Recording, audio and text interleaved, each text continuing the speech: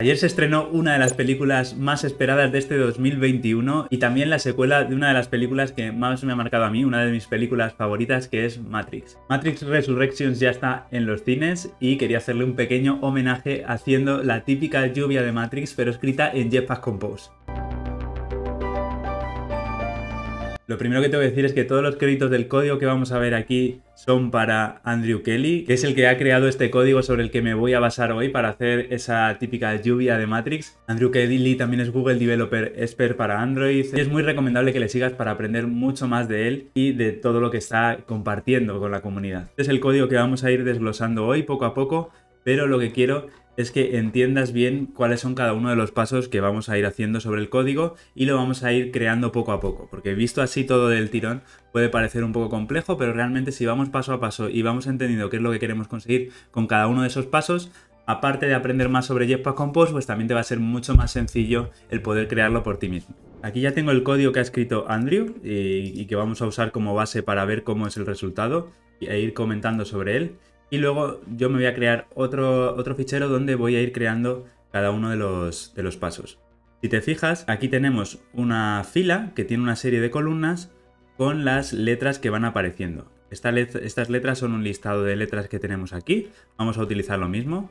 En vez de que esto sea privado, lo voy a hacer público para poder usarlo desde mi fichero. Jetpack Compose ha intentado actualizar automáticamente y se lo ha cargado. Así que voy a reiniciar.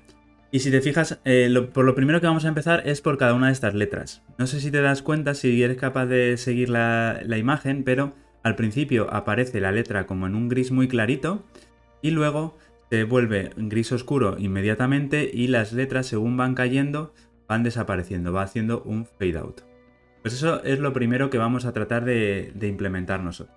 Voy a crear un nuevo fichero aquí que lo vamos a llamar matrix rain y nos vamos a crear un composable que sea matrix rain. Aquí es donde vamos a ir creando nuestro contenido, pero lo primero que queremos crear es cada uno de los caracteres estos, así que voy a crear otra función composable que sea matrix char. Esto, por supuesto, necesita recibir al menos el carácter que vamos a, a imprimir. Nos creamos un texto para imprimir el carácter, texto que va a ser el char. Hasta aquí muy sencillo, ¿no? Vamos a tener el color inicial, que es este claro. Vamos a usar un estado para poder modificarlo y que pase de ese color claro al color oscuro. Así que hacemos val color igual a remember mutable state of y le vamos a decir que este color es el color lo voy a copiar directamente un gris muy claro un verde muy claro Cortamos el color de Android X y el Remember. Aquí en vez de un igual voy a usar un by para aprovechar la potencia de, los delegados. Y por supuesto tiene que ser bar para poder modificarlo. Y a esto, aparte del texto, pues le vamos a dar un color que sea igual a color. Vamos a volver aquí a la main activity y en vez del matrix range solved, vamos a poner Matrix Rain para ir viéndolo. Luego seguramente volveré a cargar el, resuelto para que veamos algunos otros detalles, pero de momento esto sería suficiente. Nuestro Matrix Rain vamos a añadir un Matrix al que le vamos a pasar un carácter que por ejemplo sea pues characters vamos a añadirle cualquier posición, la posición 5 por ejemplo. Y aquí lo tenemos esa letra con ese verde muy claro. ¿Qué es lo que necesitamos? Que llegado a cierto momento ese verde claro se convierta en verde oscuro y además que poco a poco vaya haciendo el fade out, que desaparezca con un alfa de ese color. Para ello vamos a necesitar un alfa que lo vamos a definir como un animate float as state. Esto nos genera un estado que nosotros podemos utilizar como cualquier estado normal de los de Jetpack Compose, como este que hemos creado aquí arriba, pero simplemente cada vez que modifiquemos el valor, en vez de cambiar del valor original al nuevo de forma automática, lo va a hacer mediante una animación. Podemos hacer de dos formas, o nos creamos un estado sobre el que este va a trabajar, que es el que ponemos aquí en el target value, identifique el valor de alfa, o lo podemos hacer más sencillo con un true y un false, indicando si debemos iniciar o no esa animación del fade. Así que vamos a crearnos aquí otro estado, que lo vamos a llamar start fade, I remember double state of y le ponemos a false. Es decir, inicialmente cuando empezamos el valor del start fade es false, es decir, no, no hemos iniciado todavía la animación. Si estamos en ese caso, si se ha iniciado la animación, entonces el valor al que queremos llegar de alfa es el 0 y si no, el valor sería 1. ¿Qué es lo que va a hacer esto? La primera vez que, crea el estado, como el start phase está false, le va a dar un 1. Esto ocurre automáticamente. Inicialmente el valor va a ser 1. En cuanto que este estado cambie, este, este otro estado que está asociado a este se modificará a 0. Pero en vez de hacer el cambio bruscamente, lo que va a hacer es la animación desde el 1 hasta el 0. ¿Cómo lo identificamos cuál va a ser esa animación? Pues aquí le podemos pasar un animation spec y le identificamos cómo queremos que sea esa animación. Podemos utilizar la animación de Twin, que es la animación más básica, la típica animación que va desde un valor a otro de, una forma continua, pero le podemos definir por un lado cuál va a ser la duración, le vamos a poner que dure 4 segundos, y por otro lado cuál es la, la curva que va a utilizar de animación. La curva que tiene por defecto es una que empieza al principio más lenta, acelera y luego cuando acaba la animación frena. Nosotros le vamos a hacer un linear easing, que es que todo el tiempo la animación va al mismo ritmo. En realidad es un poco más lo que encaja con la animación que hemos visto anteriormente. Este alfa, ¿dónde lo vamos a utilizar? Pues no nos vamos a quedar con el test color solo, sino que le vamos a hacer un copy y le vamos a cambiar el alfa al alfa que tengamos aquí. Da igual a este alfa que tenemos aquí. Lo vamos a hacer con un by para poder acceder directamente sin tener que hacer alfa.value. Si veis el ejemplo que os he dejado, no utiliza estos bytes, pero son más cómodos para trabajar, así que yo sí prefiero usarlos. Después de esto, lo que nos faltaría sería lanzar la animación. Para lanzar la animación, lo único que necesitamos es modificar el start phase para que eh, cambie este valor del 1 al 0 y anime el alfa. ¿Esto cómo lo vamos a hacer? Pues lo vamos a hacer con un launch effect, un efecto que vamos a decirle que solo se lance una vez, un side effect que solo se lance una vez durante el tiempo de vida de este matrix char y lo que va a hacer va a ser precisamente es cambiar ese valor del start fade. Lo vamos a poner a true. Esto le indica el comienzo de la animación. Si volvemos a ejecutar esto, veremos que ahora hace durante 4 segundos ese efecto de desaparecer. Y una vez que acaba, como este efecto solo se lanza una vez, ya termina. Es exactamente lo que estamos viendo en el ejemplo completo, que aparece al máximo y poco a poco va desapareciendo. ¿Qué es una de las cosas que nos falta? Aquí nos faltan dos cosas. La primera es la del cambio de color, que lo podemos hacer aquí también perfectamente. Una vez que hemos lanzado este efecto, le decimos test value igual a y le ponemos el nuevo color, que nuevamente lo voy a volver a copiar. Es este color verde un poco más oscuro, el típico color de, de Matrix. Value sobra porque estamos en el by. Y si ahora lo lanzo, el problema que vamos a ver es que el color original no se ve en ningún momento. ¿Esto por qué es? Porque tenemos que darle un pequeño delay antes de que haga este cambio. Te podríamos dar aquí un valor fijo, pero si te fijas en el ejemplo original, lo que pasa es que cada una de las líneas baja a una velocidad diferente. Si nosotros le damos un valor fijo no podemos ver este efecto en el que cada una de las líneas empieza a una velocidad, además hay algunas líneas que adelantan a otras porque van más rápido, ese efecto de, lluvia heterogénea solo lo podemos conseguir si le damos eh, una velocidad distinta a cada uno de ellos. Esto es lo que vamos a llamar crawl speed. Lo denominaba así Andrew en su, código como la velocidad de barrido, la velocidad a la que van cada una de, de los caracteres. Y se lo vamos a pasar como argumento. Crawl speed de tipo long. Este crawl speed se lo pasamos aquí con un delay. Crawl speed. Le vamos a poner que, por ejemplo, para nuestro código inicial que sea de un segundo, que durante un segundo lo veamos en claro y luego pase a oscuro. Así que si te fijas con eso ya lo tenemos. Aparece durante un segundo en el color claro y luego pasa al color oscuro. Podríamos incluso muy fácilmente animar este color con otro Animate Color as State, pero bueno, como en el ejemplo original no lo hace, Tampoco quiero complicar más el código. Ya tenemos nuestro matrix chart, seguramente luego lo tendremos que ir complicando un poco más, pero de momento lo podemos dejar así. Lo siguiente que necesitaríamos sería crear cada una de las columnas, para que luego tengamos una fila con todas esas columnas. las columnas de, de letras que caen de arriba abajo. Así que voy a crear aquí otro composable que lo voy a llamar matrix column. Nos crearíamos una columna donde vamos a añadir un listado de, letras. Por ejemplo, repeat. Eh, vamos a poner 20 veces, por ejemplo. Y le vamos a decir que para cada una de ellas cree un matrix chart. Y para saber qué letras vamos a pintar en cada columna, necesitamos crearnos lo de antes, porque si no, cada vez que se recomponga este composable se nos cambiarían las letras. Entonces nos vamos a crear aquí matrix strip, que va a ser un array que va a tener de tamaño el mismo 20 que hemos utilizado aquí abajo y vamos a coger para cada uno de ellos un elemento aleatorio de la colección. Esto sería igual a remember y este valor. Como este valor no va a cambiar, no necesitamos un estado, simplemente recordar el array para que no se nos esté regenerando cada vez. Así que aquí recogeríamos el matrix strip y la posición it, que es la repetición en la que estamos en ese momento.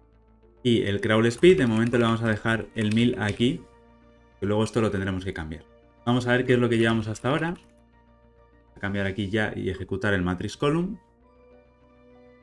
Y vemos que ahora mismo los 20 caracteres nos aparecen a la vez y nos van desapareciendo a la vez. Realmente nosotros lo que queremos es que vayan cayendo poco a poco cada uno de los caracteres, no que nos aparezcan todos de golpe. Para eso, ¿qué vamos a hacer? Pues en vez de pintarlos todos de golpe, vamos a ir poco a poco. Para ello nos vamos a crear otro valor que va a ser letters to draw, que nos va a definir cuáles son las letras que vamos a pintar en cada momento. Esto va a ser remember mutable state of e inicialmente vamos a pintar cero letras. Entonces aquí lo que vamos a hacer es un letters to draw. Vamos a repetir tantas letras como tengamos para pintar, el hacer que aparezca el matrix chart. ¿Cómo vamos a ir cambiando este valor? Pues igual que hemos hecho antes, con un launch effect. Aquí vamos a añadir unit. Vamos a hacer que mientras que las letras para escribir sean menores que el matrix strip.size que nos añada letters to draw más igual a 1. Si me he equivocado, esto tiene que ser bar para poder actualizar el valor letters to draw. Y a esto le vamos a poner un delay, que realmente va a ser el mismo delay que le pasamos aquí, para que cada vez que salga una letra, esa letra esté en color claro hasta que se pinte la siguiente. Entonces, este crawl speed lo vamos a pasar por aquí y le ponemos el que estamos recibiendo por aquí, este le vamos a poner el 1000 y a este le vamos a poner aquí un delay del crawl speed. Y vamos a ver qué es lo que pasa de momento. Y aquí vemos cómo vamos consiguiendo el efecto de que las letras caigan y vayan desapareciendo. Van bastante lentas, vamos a cambiar esto a lo mejor por 100.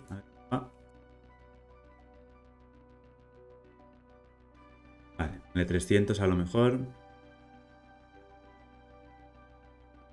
Vayan un pelín más lentas.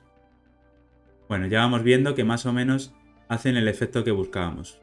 Cuando se pinta la letra aparece en claro y cuando empieza a hacer el fade porque ha salido la siguiente, empiezan, se ponen en color oscuro y empiezan a desaparecer. Pero aquí nos faltan varias cosas importantes. Si nos fijamos, la primera es que no todas las líneas empiezan a la vez, algunas tardan un poco más en empezar. Y la segunda es que cuando llegan a cierto punto, si os fijáis, las letras empiezan, algunas de ellas empiezan a cambiar. ¿Veis? no, se mantienen las mismas letras todo el rato. Es un efecto que existe también en la lluvia de Matrix original y que para conseguirlo aquí tenemos que hacer algunos pequeños cambios extra. El primero y el fácil es el, delay retardado. Vamos a pasarle al column un i start delay, un retraso sobre el, inicio del, del eje de las IES, que se lo vamos a poner aquí directamente. Desde que empieza a animar hacerle un delay con el i start delay. Entonces, si ahora este start delay le pongo, no sé, que tarde un segundo en empezar, al segundo no va a empezar a pintar las primeras letras. El segundo cambio es lo de modificar las letras. Pues vamos a venir aquí y le vamos a decir, por ejemplo, que si las letras que se han escrito son mayores que el matrix strip.size por 0,5, es decir, ya hemos pintado más de, la mitad de las letras que corresponden a esta columna, vamos a ir cambiando algunas letras de forma aleatoria. En matrix strip vamos a coger una posición aleatoria, un random.nextInt, que sea como máximo el número máximo de letras a pintar hasta el momento, y le vamos a asignar un carácter aleatorio. ¿Esto qué va a hacer? Que desde de todas las posiciones que ya se han pintado, va a coger una de ellas y le va a cambiar aleatoriamente un carácter. Y esto va a ocurrir a partir de que se hayan pintado ya la mitad de la columna y lo va a hacer una vez por cada una de las letras nuevas que se pinten. Así que si ejecutamos esta parte, a cambiarlo aquí, deberíamos ver primero que tarda un segundo en empezar a pintar y que cuando ya he pintado la mitad, algunas de las letras se van cambiando podéis ir viendo por ahí. Y otra cosa nos falta, que si recuerdas en la original llegaba un punto en que la columna se, volvía a repintar. No, no acaban como esta y ya no se vuelven a pintar más, sino que se reinicia en algún punto. ¿Cuál es el trigger que utiliza en este ejemplo? Que cuando el 60% de las letras ya han hecho el fade out, es decir, ya han desaparecido totalmente de la pantalla, han llegado al alfa cero, entonces reinicia la cuenta. Esto también es relativamente fácil de hacer pero hay que tener en cuenta cómo conocer cuando hemos llegado al punto en el que el 60% de esas letras ya han hecho el fade out. ¿Cómo lo podemos hacer? Pues si nos vamos a nuestro matrix chart, aquí hay otro argumento que es el finish listener. Podemos añadir un listener que nos avisa cuando se termina de animar el estado. En este caso le vamos a pasar un onFinish por aquí, que lo vamos a pasar por argumento onFinish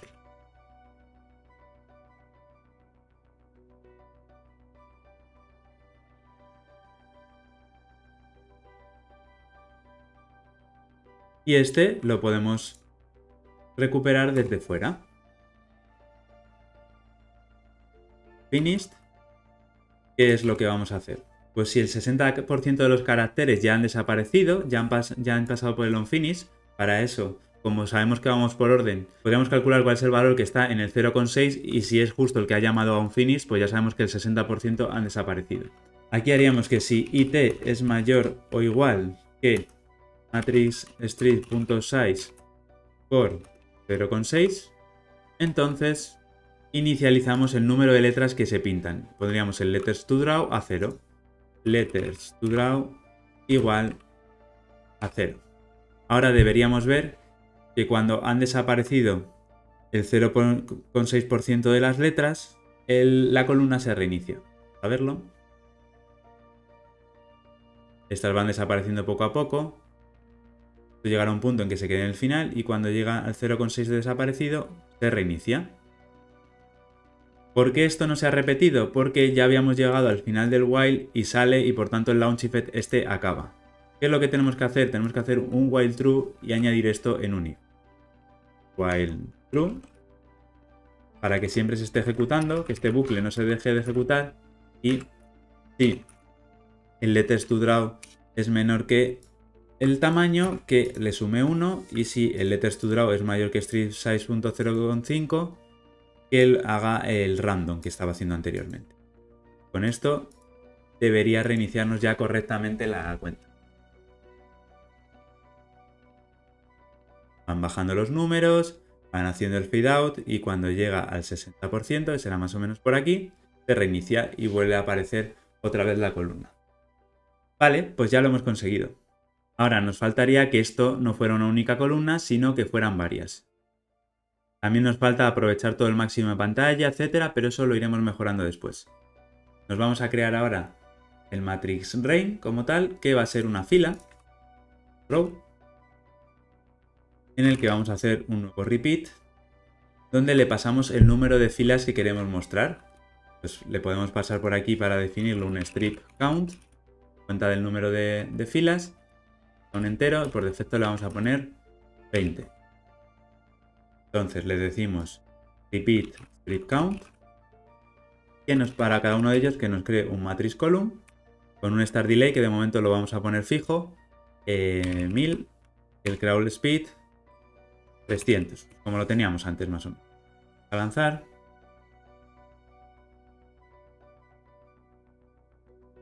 Y aquí ya vemos todas nuestras columnas que realmente se están lanzando a la vez, no es lo que queremos, pero bueno, ya vemos que hacen lo que necesitan. Lo que nos faltaría sería modificar este crawl speed y este start delay. Para cada uno podemos calcular un valor utilizando valores random, valores aleatorios. Por ejemplo, el start delay que vaya entre 0 y 8 segundos, que tengan esas opciones para empezar. Le podemos decir que nos dé un next int que vaya hasta 8 y multiplicarlo por 1000. Es decir, para que tengamos 8 segundos. Para que esto sea de tipo long, vamos a añadirle una L aquí para que nos haga bien la operación.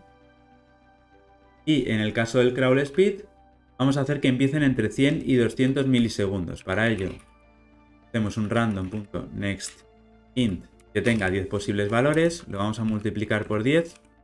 Esto simplemente estoy siguiendo los valores que estaban en el ejemplo, se podría hacer de muchas maneras. Y como mínimo que el crawl speed sea de 100, es decir, esto va a ir entre 100 y el máximo que puede ser 10 por 100, 200. Y ahora volvemos a ejecutar esto.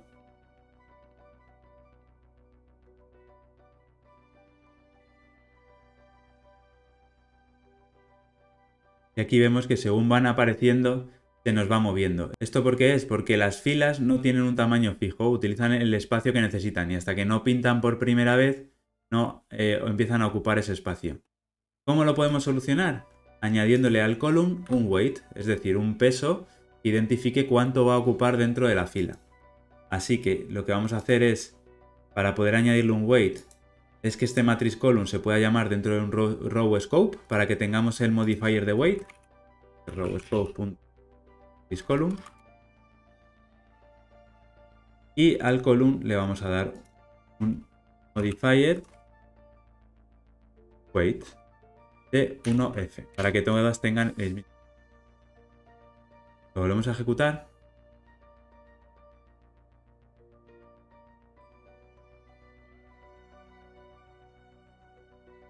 Y ahora ya estaría funcionando correctamente.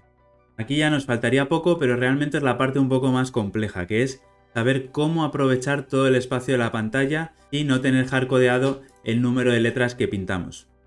El número de columnas en principio sí que se podría ajustar, pero también tenemos otro pequeño problema, que es que como las letras siempre tienen el mismo tamaño, si no cambiamos el tamaño de la letra como tal, se nos montan las, las filas y por tanto eso también tenemos que plantearnos cómo hacerlo. ¿Cómo lo podemos conseguir? Pues vamos a incluir cada columna en un box with constraints. Un box with constraint es un box que nos permite saber cuál es el, ancho y el alto que, que tenemos en píxeles y por tanto adaptar nuestro contenido al espacio que tenemos. Así que me voy a crear aquí un box with constraints. Este box with constraints va a tener un modifier que va a ser por un lado el weight que teníamos aquí, ahora al que se le asigna es al box, lo voy a copiar directamente de aquí. Y por otro lado, vamos a decirle que de alto ocupe todo el alto disponible. Fill max height. El contenido que teníamos anteriormente lo vamos a incluir dentro de este box. Poner aquí. Al column le vamos a poner como modifier que ocupe todo el espacio disponible, modifier.fillMaxSize. Y ahora lo que nos quedaría es calcular cuál es el, ancho y el alto de este box with constraints para utilizarlo para saber el número de elementos que tenemos que pintar.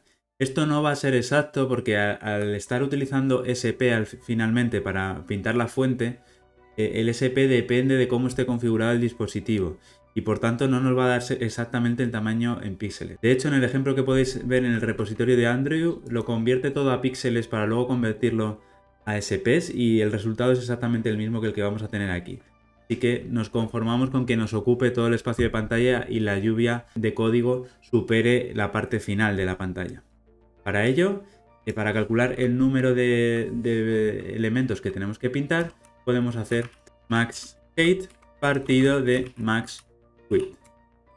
Esto es un float, no recuerdo mal, así que hay que cambiarlo a un entero. Punto to int y esto ya pintaría los caracteres, etc. Y luego, por otro lado, necesitaríamos darle el tamaño correcto a la fuente. El launch effect tiene que ir dentro porque está utilizando alguno de los valores que hemos utilizado. Y el matrix chart necesita un font size que lo vamos a convertir a SP a partir a un test unit, que es lo que utiliza el matrix chart, a partir del valor del mass width. Vamos a hacer que el font size sea el mass width convertido a SP. Para ello vamos a pasarle por aquí un font size de tipo text unit. Y luego este text unit se lo pasamos por aquí. Eh, font size igual a el font size que recibimos por argumento.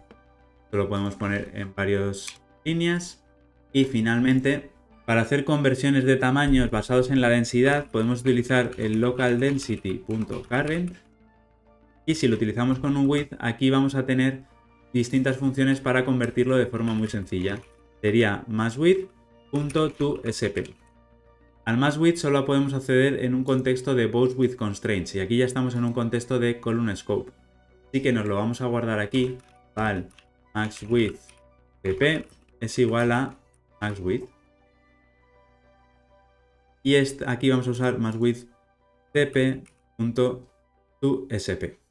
Con esto, y si ahora ejecutamos nuestro proyecto, veremos que las letras caen y sobrepasan el final y llegado cierto punto desaparecen para volver a cargar. Con 30 la verdad es que al menos en el dispositivo y en modo debug esto ya va un poco lento, así que le vamos a poner 20 líneas de strip count y lo veremos un poco mejor la animación. Así que nada, ya hemos conseguido el efecto total que buscábamos. Espero que lo que hayas visto en este vídeo te sea de ayuda para entender algunas ideas extra relacionadas con Jetpack Compose. Hemos visto temas muy interesantes como por ejemplo animar un estado o como por ejemplo utilizar un boss with constraints para saber qué espacio tenemos y en función de eso adaptar nuestro contenido. Aparte de que todo está relacionado con esa película que muchos de nosotros amamos que es Matrix. Así que nada, si te ha gustado este vídeo, dame like, suscríbete y déjamelo en los comentarios si quieres que sigamos haciendo algunos vídeos de este estilo, que proponiéndonos retos que luego solucionemos de una forma más o menos ingeniosa utilizando las herramientas que nos provee Jetpack Compose. Muchas gracias por tu tiempo y nos vemos en un próximo vídeo. ¡Hasta luego!